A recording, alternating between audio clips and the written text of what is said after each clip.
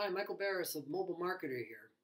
You know, one hears so much about college students being saddled with debt, and with millennials' proficiency in mobile, it seems a bit of a strange confluence that college students do relatively little electronic banking. The fact is, most college students just have a basic checking account, and they only need to perform simple tasks such as checking account balances, making deposits, or transferring money. It's really the parents for whom mobile plays a big role in controlling their child's finances and debt.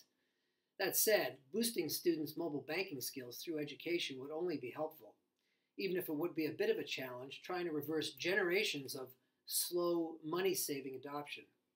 For Mobile Marketer and Mobile Commerce Daily, I'm Michael Barris. Thanks for joining me.